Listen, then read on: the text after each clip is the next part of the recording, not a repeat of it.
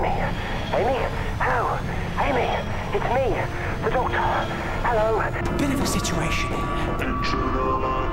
I've got my finger on a button. Which is fine, but as soon as I take my finger off the button, the spaceship is going to explode.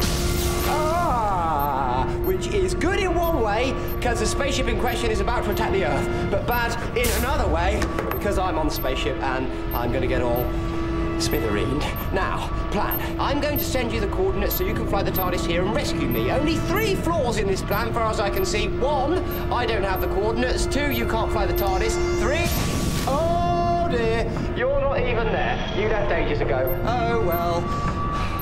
I think I just wanted to chat before all the smithereening.